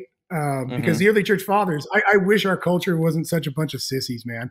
yeah, Uh, because I mean, you read Saint Basil and those dudes; they would go out and hash that out in the public arena, you know. mhm, And but they they just did it differently. They weren't trying to fight each other. They weren't trying to, you know, like so. I wish we could get back to that, but now I look at most internet debates. Like I watch Trent Horn and James White, right. and I, I just kind of like I'm just like, what's the actual fruit of all this? You know, like yeah, what, what what does this actually accomplish? Except like, you know, like everyone's still standing their ground. I don't know. I, I don't know how much those actually do. I appreciate them, but at the end of the day, I don't know if Trent Horn's going to convince a Calvinist. you know, I don't Well, know, maybe, so maybe. So you know that I work for Trent Horn, right? So No, I don't. oh yeah, so I'm, I'm I'm at least I'm one of Trent's assistants. Um, so oh, nice. you would be amazed at the amount of comments that I see. So if you go and ca- uh, comment on the Council of Trent and you see a comment that says "Dash Kyle," that's me. Um, Oh, so I've uh, watched- I've watched those. yeah, so uh, but anyway, I thought. Trent I thought he murdered James White. By the way, he murdered James White. so the crazy thing is is that i've seen just every single response. I thought was i got i thought it was pretty even. James white murdered him. Trent horton murdered him. And i'm just sitting over here like yeah i uh, james white was james white and trent horn was trent horn and yeah, clearly i i've already decided who had the better arguments before it even started. And uh, i did a review of it uh, on my channel. And uh, I, I invited uh, my friend paul facey he's known as uh, the other paul online and he kind of had that exact same reaction as you of you of just like it's just so tiresome it's just the same thing over and Yeah. over again we're just hashing the same points and uh and i was just like honestly I I can say that from a different perspective. Like I, Yeah. because I was a Protestant, so Mhm. that's where I can see as a Catholic you going into that being like, well, Trent Horn's going to win. He did, you know. But Right. I've been on the other end of it. I already knew James. I was. I got trained for ten years as a five point Calvinist. I knew Right. exactly what James White was going to say. I knew he already got. He already attacked me online, by the way, too. oh But, did he uh, yeah, and I think that is a badge of honor. I thought that was a badge of honor. That he that that, That- that- little that- old me in Missoula, Montana. You thought the stadium was the mountaintop. No, this is actually the Right. mountaintop. but I knew what he was going to do. Like you, I knew his. I've already known his arguments. Like you know, but I, I don't take him serious because anyone who says that God ordains rape, I don't take you serious. I don't even take you kind of serious that you know the heart of Jesus Christ. You don't know the heart of Jesus Christ if that's what you believe. But I also know how he came to that conclusion. right. I also know, you know, all that. So I don't. I agree with you. I, have watched tons of those, and you know, Ortberg and all those dudes, and you're like, what is the actual fruit of this? What is this actually doing? You know, and then mm-hmm. it is indicative of our culture, and that's what kind of that's what kind of sad to me. Like this is a great conversation. We're homies, whatever, right? Yeah. But uh, I don't know if you saw JJ Redick. You know the basketball player JJ Redick. Ah, uh, the name sounds familiar. He was a Duke guy, NBA. Anyways, mm-hmm. he just came out last week and he said something so interesting to me because he's he's fed up with social media culture. He said, "I can do a podcast where I break down the ins and outs of defense and basketball and all that." And he goes, "I'll get like ten thousand views," and I'm probably butchering this quote, but he goes, "But then I can do a podcast where I tear apart a coach and what he does and how he coaches, and I'll get a million views." Yeah. And so he goes, "What's wrong with our culture?" What is wrong with our culture that we want to hear someone be trashed and cynical and destroyed. And if you're a basketball fan, why wouldn't you want to know about basketball instead? Right. That was his point. Right. And so I view that, and it's the same way online. Like you're not, you, you probably don't even know who these people are, but you know, I look at the new evangelicals. You know that that guy, the new evangelicals. I mean, they got hundreds of thousands of followers, and then I see the Theos brothers. They have hundreds of thousands of followers. I can't imagine standing before God someday and having him show me how much time I spent critiquing and judging and tearing someone apart online. I can't mm-hmm. even imagine standing before God someday. And so what happens then is then they get more views. And then you got guys like Mike Winger and all those guys, and it's like they have to give their opinion on freaking everything. And quickly. I don't give a crap. Yeah. I don't give a crap what, what people think about the He Gets Us ad. Who cares? Who cares? I don't give a crap about, you know, political stuff. So you got these people, and they're the same people, just on different sides of the aisles. They're vicious, they're judgmental, they're prideful, they're snarky, and it's feeding into our cultural narcissism. We are living through cultural narcissism right now, and it's feeding into it. And so that's why, you know, I listen to your podcast and I'm like, that was a breath of fresh air. Oh. or like, you know, or like, because you're talking about real stuff, but you're not trying to get me, you know, and, and right. So that's where I'm, I'm just wrestling with the whole internet podcast thing now because I'm just going like, what is the actual fruit of this? What is mm-hmm. this actually doing? You know, and at the end of the day, I just think I don't. I think we're kind of lying to ourselves sometimes that Jesus is going to pat us on the back and be like, "Way to go! Way to go after James White! Way to go after Scott Klaudt! way to go after Trent Horn. Like, I don't think he's going right. to say that to us. I really don't. Because he yeah. says, go and learn what this means. I demand mercy, not sacrifice. That's what he said. Yeah. So it's like, I, I just think, and myself included, I've been involved in this and I'm just starting. I mean, I've had, you wouldn't even believe the stuff people have said to me now after that video went viral. I mean, oh, just last week, dude, just last week, I got an anonymous letter in the mail from someone in Missoula calling me a heretic. I need to repent. And I, again, I just stop and think, like, what in your right mind would make you think that's what Jesus wants you to do? Right. Right. Yeah. And so, or, that, or even like, why did you think this would work? oh, yes. Okay. Now I'm going to repent because an anonymous letter came to the church. And I totally agree with you that Catholics are heretics. And I'm, you know, it's like, but I just see it online and I just see it. It's just, I don't know if it's building the kingdom of God and I I don't think we're going to be congratulated for it. You know, right. Right. And well, like there's also a certain point, like if you want to talk culture wars or whatever, you know, Peter Kreeft has yeah. a has a wonderful saying, and I say it a lot. It's that when a madman is at the door, feuding brothers reconcile. And it's like you and I, we have differences, but I've got way more in common yeah. with you than I do with the guy who wants to mutilate my children and who's right. successfully running for Congress. And mm-hmm. it's just like, okay, yes, we've got differences. Yes, they are important, but the unity and the fraternity is a little bit more important right now.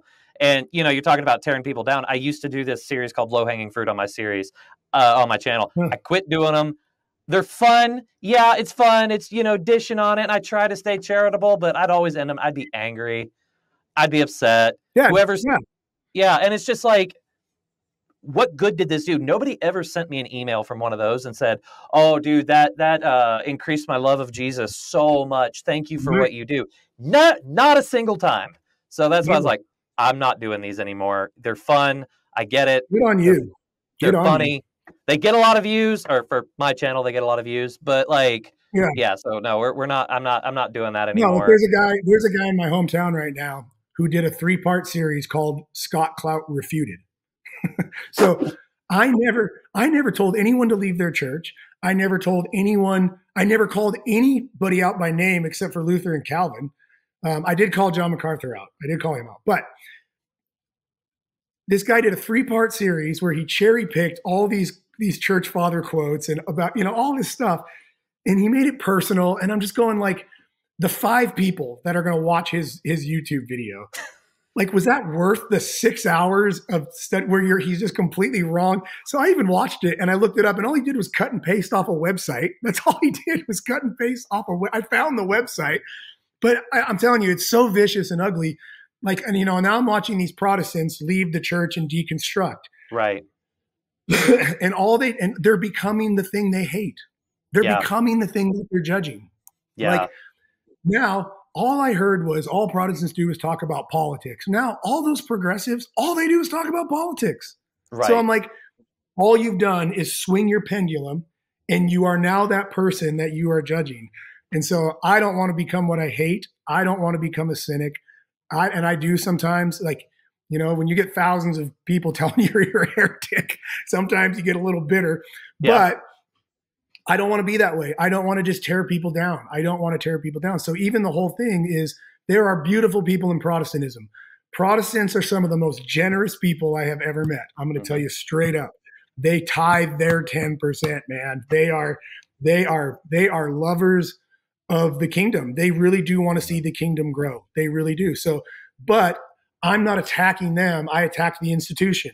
And the bottom line is Calvin and Luther were heretics and they wanted to be the Yeah. pope. It's just a fact. You you know, Calvin made it illegal to criticize him. That is a cult. That's a cult. And if anyone can deny that that he didn't do that, then show me. But he did do that. His own son-in-law and daughter were killed because of his laws. I mean like Yeah. so that was my point was yes, the Catholic Church has some some bad seasons. Oh, But sure. why are we surprised? Why are we surprised by that? Paul told us the wolves will be inside the church. Paul Yeah. told us the deception will be inside the church. Why are we surprised?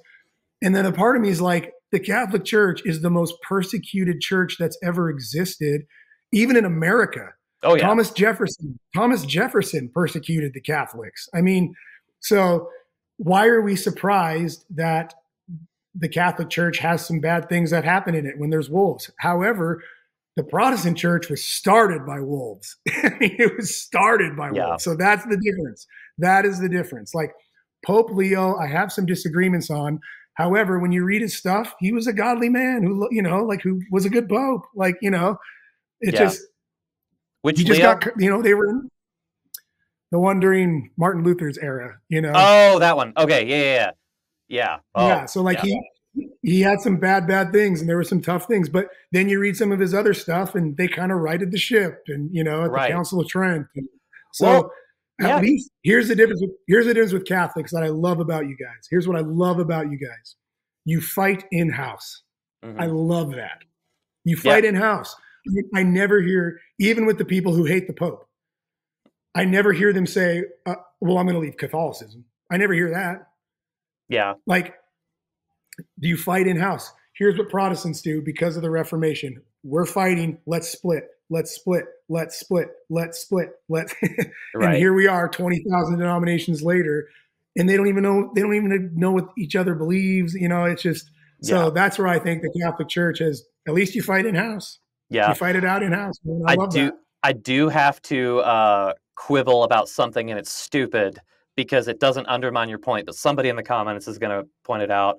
It's not 20,000 denominations. That same survey says that there's 200 different Catholic, whatever. There's still more than 10, and that's still a problem. You know, so like, okay. It's like, okay, sorry, I had to point that out because I thought was somebody somebody would say, "Oh, I guess that invalidates everything you said." It's like, no, the point still very much stands. Um, no, but see, well, yeah. okay, can you can you unpack that? Like, so you're saying there's not twenty thousand Protestant? Yeah, so there was a survey that was done, and the criteria that they were doing was uh, said that there were like 200 different types of Catholic Church, and it's just like that's. It was a really flawed oh. survey. It's still in the thousands, but it's not like thirty thousand, right. you know, twenty thousand or whatever it is. But it's still a lot. Uh, oh, so, see, the, the study I read was how they got to that number was because even within those denominations, oh yeah, there is separation. Even with so that's how they got to that number. Yeah, like, they're not saying they're not saying like there's assemblies of God and whatever. Right. They're saying even within so like let's use the Baptist right. Mm-hmm. How many Baptist churches are there? Right. In, in my town of 600 people, so I grew up in Oklahoma. In my town of 600 people, there were two Baptist churches. Okay. In mine, there's like four. um, and you'll talk, I'll talk to one Baptist and another Baptist, and they both claim to be Baptist, but they don't agree with each other even on a ton of stuff. Right. So that's my, I think that was my point was, yeah. Yes, I'm not saying there's 20,000 assemblies of God. What I'm saying is even within the assemblies of God sure. and within, there's all these different branches that are kind of autonomous and they're not, you know, exactly. like yeah. You know, like assemblies, especially like the Alliance. I was in the Alliance, mm-hmm. and my district went like full Calvinist. That's one of the reasons I left, is they went mm-hmm. like full Calvinist. But then I'll talk to someone in the Midwest, and they're like totally Arminian. You know, so I'm like, that's my point. Is it doesn't matter if you're under the banner of this. You guys don't even agree on this, this, this, this right? You know, all that. Right. I think well, I think that's how I bring those together. Yeah, yeah. No, definitely. And and yeah, like there's no reason that a town of 600 people needs two Baptist churches. I think it I don't know the histories of those, but I think it, it was some doctrinal disagreement and I've I've even heard like there's a joke of like, well, you've got the left Baptists and the right Baptists. It's like, oh, is that like a mm. political thing? Oh no, the left Baptist believes that when Jesus was washing the feet of the the apostle, he started on the left foot, and they believe that he started on the right foot. And it was just yeah, I mean that's obviously a joke, and you know, but it does kind of. No, I know exactly, but you're that's a that's a true joke. oh, it is. Oh, that's. Oh, no, gee. I mean like, okay. like that's that's the kind of no no no no like that. I mean like that's that the level kind of pettiness. That yeah, that they'll quibble over and split, and and that's the problem with you know then when you don't have a, an authority over you, you become your own pope, right? And you tear the church apart and you create ridiculous theologies like the rapture. I mean, like, and that leaves people in bondage forever. Yeah. It's just like, so that's why I do, that's why I'm like, no, this is messed up. This isn't good.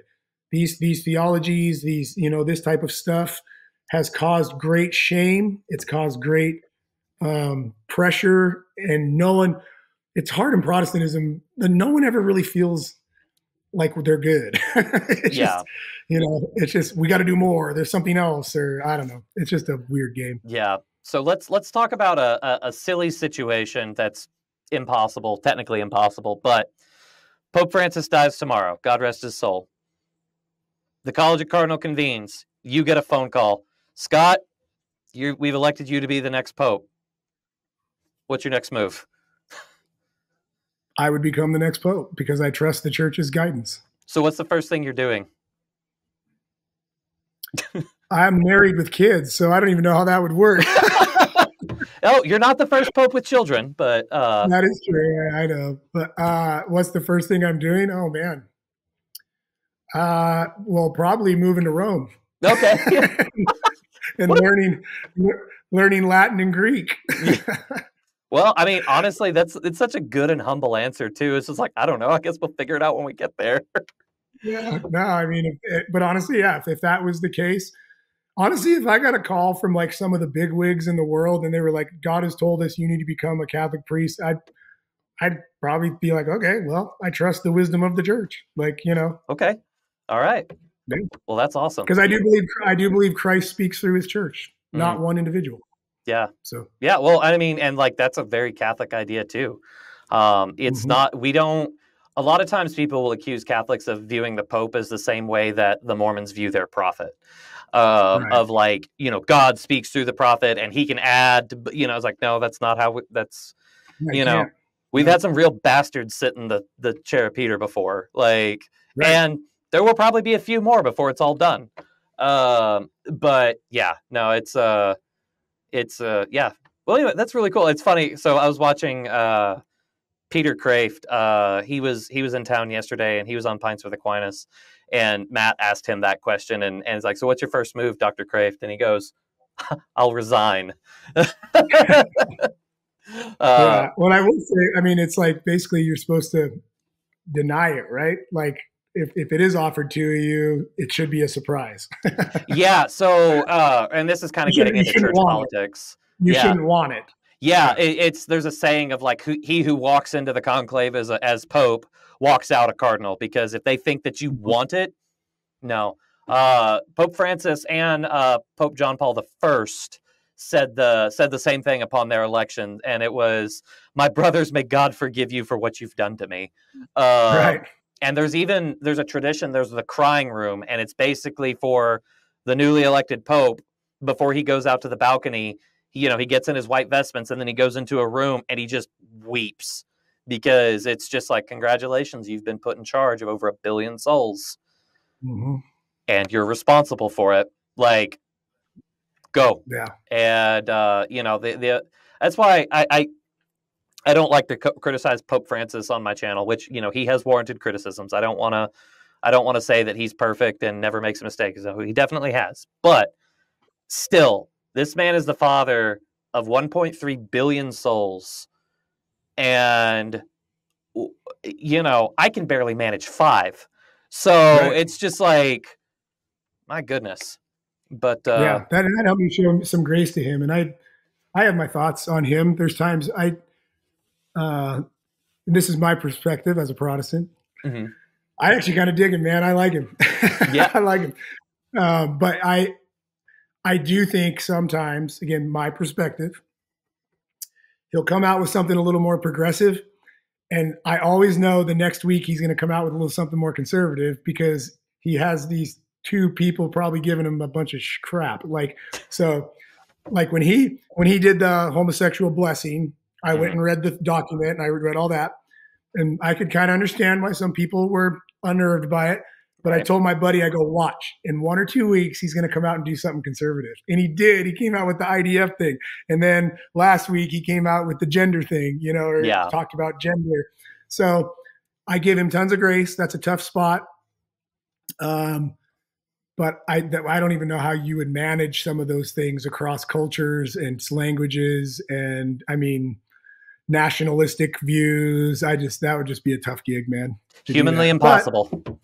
yeah, and there, but there's things he says that are so grace filled and so loving, and I just I love that about him, and um, I think he handles his critics very well in a lot of ways, and then sometimes I think he doesn't. and I Yeah. don't know. I just, but there's some dudes I really love. Some of the conservative guys, I do like some of the more progressive guys, and I just try to listen to both of those sides uh, Yeah. to find truth. You know. Yeah. So, Well, I, I, I like to say, you know, the path is narrow, and you know, Satan doesn't care if you're too far to the left or too far to the right. As long as you're off the path, Yeah.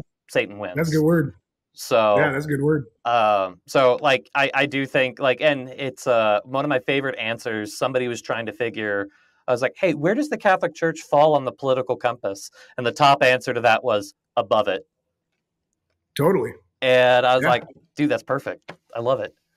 So, Yeah, yeah. that's where it's supposed to be. But I do, I do think I understand what he's doing, Mhm. and meaning, you know, he invited all the transgenders to the Vatican, and you know, loved on them. I don't have a problem with that. Yeah. I don't have a problem with that because what's the other option? You know, like what's the like? I don't ever, you know, you can send them anonymous letters telling them that they're heretics. right? You know, you could tell them something that they've already been told a million times and Right. it hasn't convinced them, or you can love them and show them Christ. So I thought he got a I thought he got a bad rap for that because Mhm. I'm a guy I will eat with anyone. I'll I'll sit down and eat with anyone, Right. and I, you know, so I'm like, what, what does it cost us? What does it, what did it, what does it cost us to just sit down, call someone, call someone what they want me to call them and love them? That's just, that's all it is, right? Like to me, that's what he was doing, but I don't think he was affirming it all either. And, you know, so I think that's where, yeah, I kind of view, I kind of view some of that, but I do struggle with some of them. Like I struggle with James Martin, man. I struggle with him.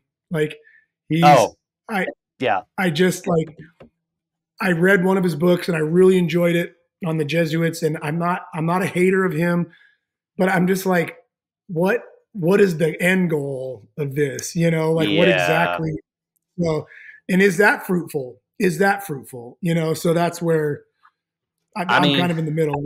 I'll God's, break bread with anyone. I'll love anyone. It's not my job. Whatever you're doing in your bedroom is none of my business unless you make it my business, you know? Right. And that's so I think that's the cultural moment we're in is like everyone's making it our business. And so we have to we have to deal with some of these tactfully and gracefully and lovingly. And at the end of the day, I am a co-equal sinner with everyone. That's just how I look at it. Yeah.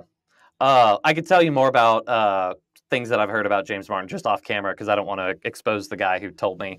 But uh, it's nothing bad. It's nothing bad. It's just uh, attitudes in the church uh, toward him. But um, you know, I'm not saying like, oh, I've got dirt on some deep scandal and uh, no, no, no, no, none of that, none of that. And, and I'm not know, a hater of his. I just don't understand it. I'm kind of like, well, like, what are you doing, dude? It's interesting. So, uh, are, are, you familiar with Father Mike Schmitz, the Bible in a Year guy? Yeah, a little bit. So yeah. he he was on Pints with Aquinas way back in the early days. He went and talked to Matt Fradd, and he brought up the topic of Father James Martin, and he said, "Oh, do you want to criticize him?" And then and Father Mike immediately went, "What do you mean by criticize? If you want me to criticize his desire to build bridges and build communities, build friendships, and increase love uh, with these people who struggle with these sins, no, I'm not going to criticize that. If yeah. you want to criticize some of his methods and like he's coming across as approving of it, okay, yeah, we can criticize that. But the desire, like, no, that's obviously coming from a really good place in his heart. So I agree with that. I have no problem yeah. with with building those bridges. And I have no problem with people not just coming out and slamming people either. Yeah. And, I, you know, but I just, you know, that's just one instance that I'm just kind of like, I don't know how that fits in the Catholic Church. I just don't know how. Yeah, you're not the hand, only one asking that question. you know, and, and, I don't know the answer to that either. So that's yeah. just where those are just questions I have about the Catholic Church. It's like, I've read the document. I know exactly where you guys stand. I read what, you know, Pope Francis affirmed that stance yeah. How does that even take place then in the same institutions? That's that's just what i don't know and i don't i don't know. And this is where the human sinfulness comes in. It, it's just like you know you've got this might be too strong but weak leadership of like you know somebody needs to bring the hammer down or like you know it's time to do some disciplining and whoever's in charge hasn't. Um, you know and we saw that back in the time of martin luther too. The selling of indulgences mm. that was like Martin Luther was not wrong on that topic. Like he was hundred percent correct. My, ser- my series. Yeah. I said that in my series. I was like, no, he was right about that. Yeah, no, he was right. Yeah, and like that's actually so in the coming up in the Council of Trent, like that was affirmed. Was like, yeah, mm-hmm. no, he was right here. Um, mm-hmm. so yeah, so like it, it pains me so much to read the story of Martin Luther because it was just like we were this close to having a St. Martin Luther on the calendar and a mm-hmm. Lutheran order within the church. Yep. Ugh, it, it, it's just like, dang, you could have been a doctor of the church. But yeah, instead of like being humble and submitting and whatever, you were just like, let's just take seven books out of the Bible and you know, I'm just going to do whatever I want. Eleven, you did eleven. yeah, well, yeah. So the the New Testament ones, thankfully, I think yeah. like he had enough pushback. They were, in the, they were kind of in the index, like he took them out. Yeah, and they were kind of like it's yeah. kind of like putting an asterisk next to it. Yeah, it's just like, and here we read from the Epistle of James, uh, you know, which is an epistle of straw. Exactly. Yeah. So yeah, so I agree with you. I actually think Luther, I'm not convinced Luther wasn't on the spectrum also. Like when you read some of his stuff, and I don't say that judgingly, I say that like there's just some things that you're kind of like, what was this guy thinking or what was he doing? But what I think happened is his pride and ego took over. Yeah. And as soon as he said Saint Saint Augustine and Saint Ambrose doesn't hold a candle to me, I was like, okay, like, no, I'm done. Yeah.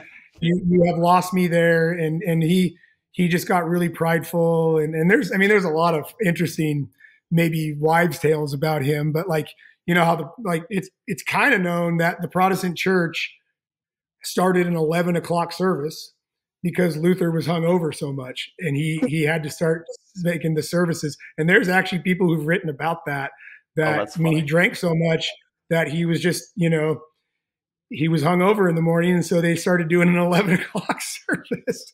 Now, who knows if that's true or not? But we do know he he was a pretty big drinker. It know? is that and, is one of those things that it's just like I if you told me that that was just like Catholic anti-Protestant propaganda, okay, all right, I could I could believe that, but there's also just enough believableness. Like that also wouldn't surprise me if it was a fact. Um, yeah.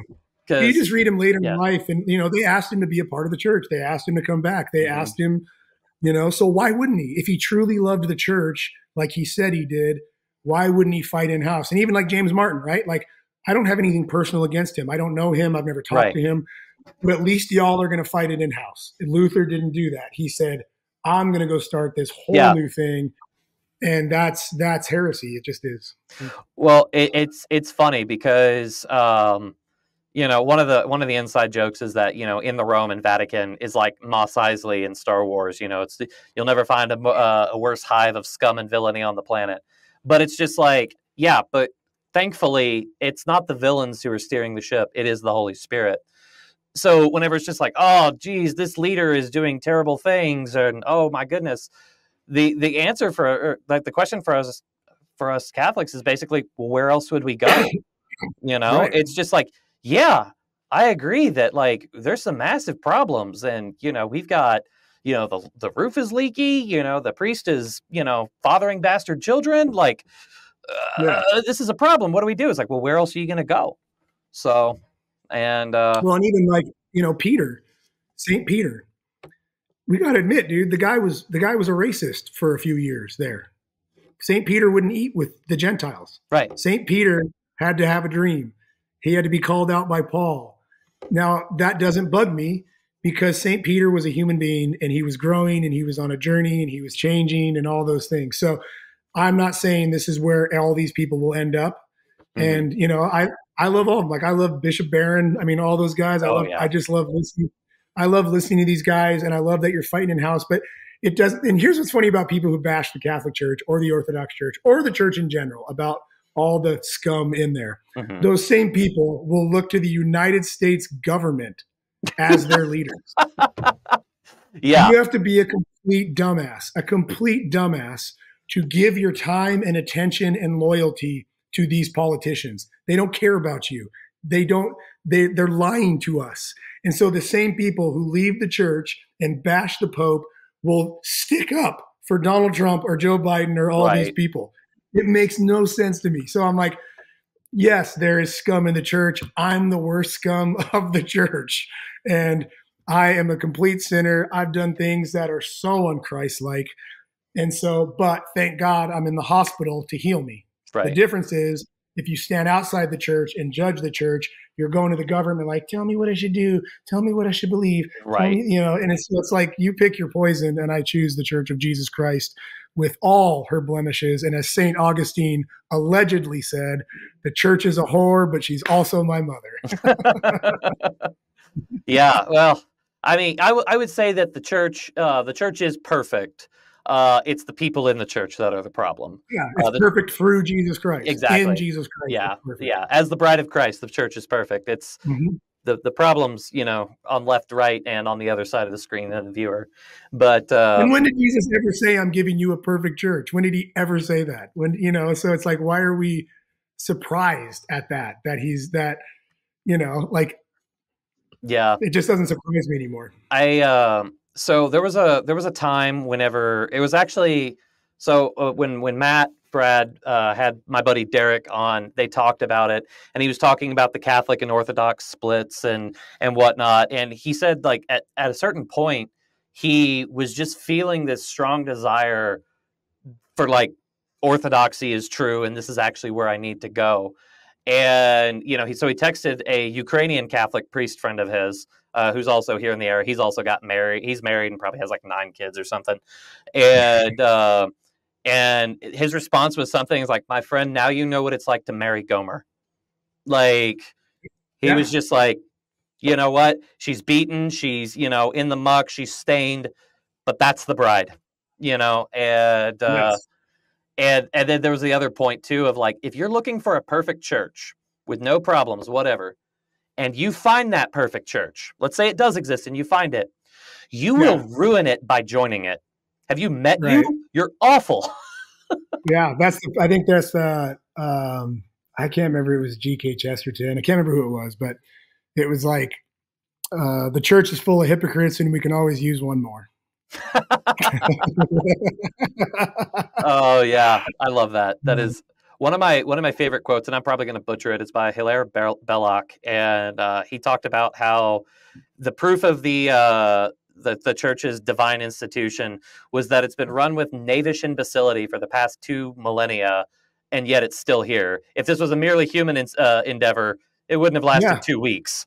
So I totally agree with that, and that's actually why I believe you know the Protestant church is a side thing, and it's not going to make it forever. I don't. I don't believe it'll be around forever. There'll be pockets of it, you know, Sure. because there's some areas that the Eastern Orthodox and the Catholics aren't, and the Protestants are. There just really is. And again, the small C church, but that I do agree with you. One of the convincers for me was, you know, Catholic Church has had some tough seasons, and the Orthodox, and they're still around. Like, Yeah. they're still here, and not and not only around, they've grown. You know, you can't say that for certain Protestant denominations. I mean, Luther's Geneva and those whole areas, they're, they're Calvinism's dead. Like it's Yeah. dying. One of my, we had a staff member from the Netherlands, grew up uh, reformed, mhm. miserably reformed, and that's why he loves what we're doing because he's like, no, I watched this in my hometown. I watched what Calvinism did in my hometown. I watched the abuse. I watched the fear. Calvinists never know if they're chosen or not. They never know. Yeah. You never have any security. And I always say this about Calvinism. You know, I have a little bend towards Calvinism. Why would any Calvinist ever have children? Why would you ever risk that? That God wouldn't choose one of your children. Huh.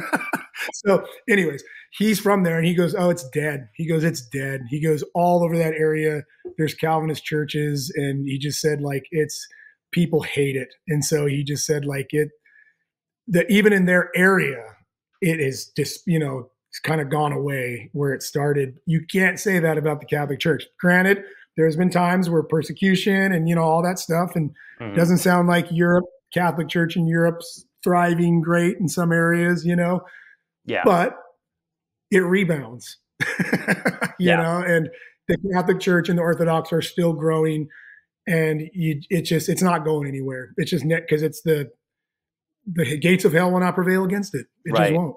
Yeah, no, there's um uh I do want to say though that like you can kind of see God's providence working in the background though because one thing especially American Catholics struggle with that Protestants absolutely do not struggle with is a love for scripture. Um Yeah. you know, the fact that like you're able to quote scripture much more fluidly than I can. Well, I mean, you also, you know, do this for a living.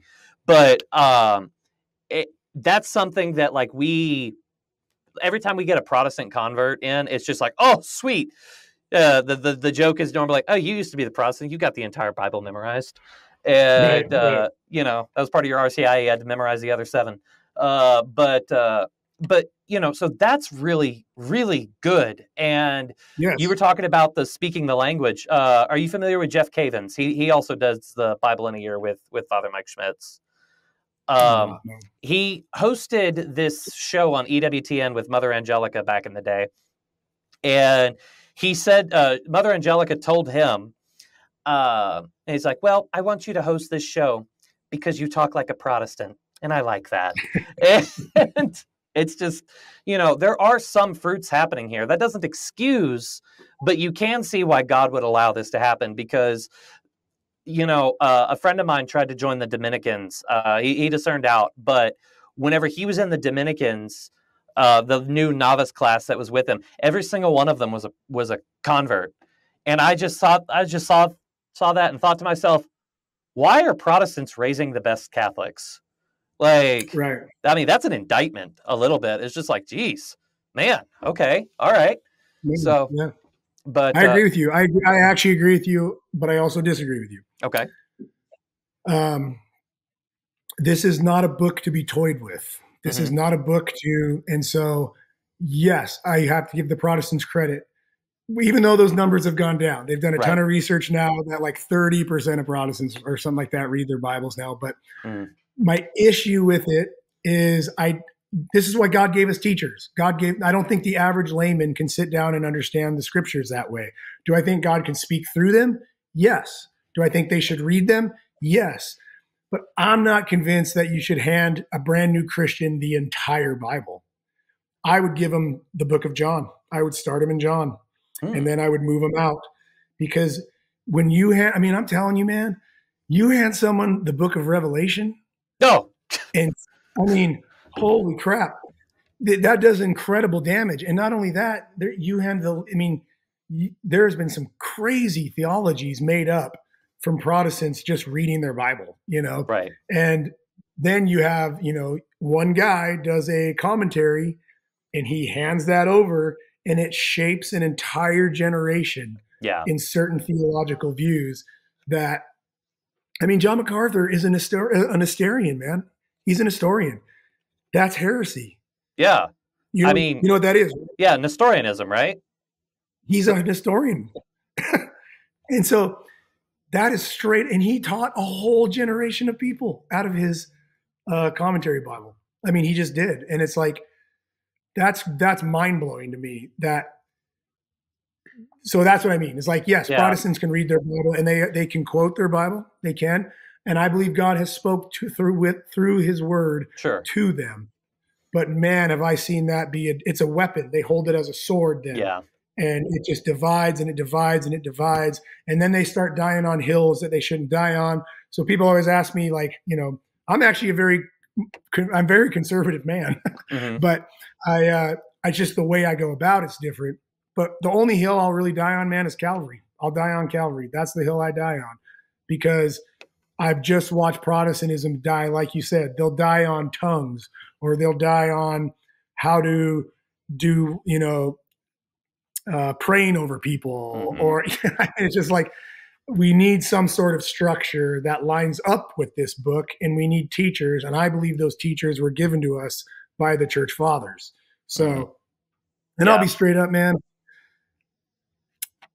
i it's hard for me to read protestant writing anymore because it's mm. so boring to me it's so boring like i i it's it's it's usually um it's a ted talk man it's usually a ted talk mm-hmm. it's like here's the good it's more it's moralistic and here's the good, here's the bad, just don't do the bad. And I'm like, well, it's not that easy, you know? Right. Or most of them are like, here's seven ways to fix your marriage. Here's seven ways. Right. Brother, you know how to fix your marriage?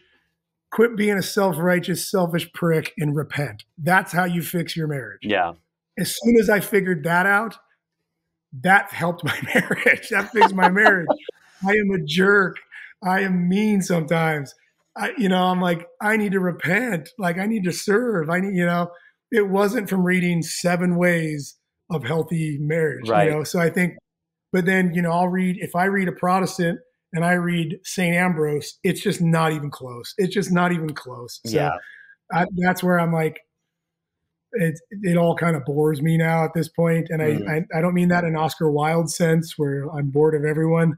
I mean it we, all you have to do is compare the two, and it's just it's not even close to the depth and the wisdom and the knowledge that comes from the church and the fathers. Yeah. Yeah, well, that's awesome. Well, we are we are bumping up against two hours now. This is this is it didn't feel that. Um, so no, that was great. Is there any topic that, that we didn't touch on that you'd like to touch on? Anything, anything you guys got coming up?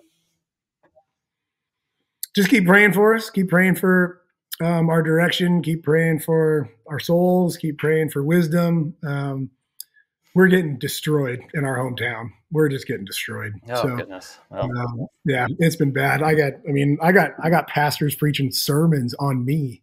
oh so, wow! Okay, it's disgusting. It's so weird. It's just so weird. But um, yeah, we're getting hit pretty hard. We're getting hammered pretty okay. hard in our hometown. And so, and I don't say that like we're victims and I know God's got it, but there's a there's a level of viciousness and slander that is just I've never seen it before. I've just never seen people this upset. Yeah. Well, I mean, you know, they say, uh, you know, the blood of martyrs feeds many souls. So, you know, maybe, maybe, maybe you won't be called to, to maybe that extreme, but, uh, you know, God. You told me I'm going to be the Pope, bro. Huh? You announced it. I'm going to be the Pope. You told me I'm going to be. Oh yeah, yeah. Well, there you go. So, you know, so whenever you're elected to the uh, to, to, the papacy, maybe then you can uh, impose an interdict on the entire uh, town of Missoula. But anyway, all right. Anathema. Well, uh, anathema. Yeah, yeah. So, all right. Well, cool. Well, uh, Scott, thanks for so much for your time, uh, and for you, You're dear, welcome, dear, dear listener, thanks for sticking around this long. And if you stuck around this long, thanks for watching. God bless.